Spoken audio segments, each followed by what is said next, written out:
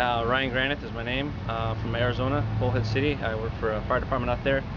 And uh, the reason uh, I'm here today is I actually, I have one of uh, the guys, Drew, right behind me, or actually behind you, is uh, the guy that helped me out a lot with my suspension. The reason I chose Hotchkis, um, I've heard nothing but great things about their suspension and, and performance in aftermarket parts.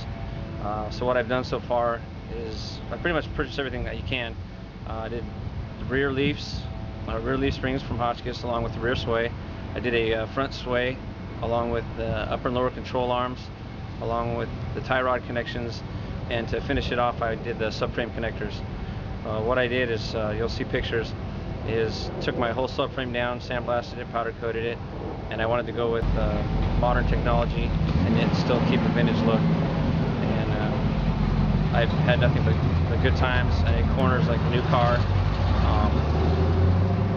It just hugs the corners and gets. So, thank you very much.